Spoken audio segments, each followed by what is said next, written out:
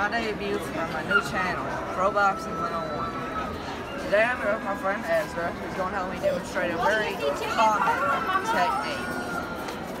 It's known as a bolo punch.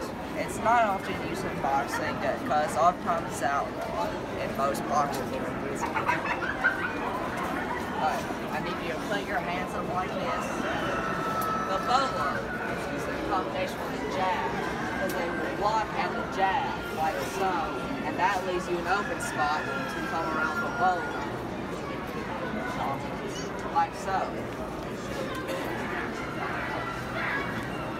Basically, it's one of the most common uh, outlaw techniques. It's very useful in fighting. And if you want to subscribe, I'll have new videos every Wednesday or Thursday. Say 5 o'clock Central. Out.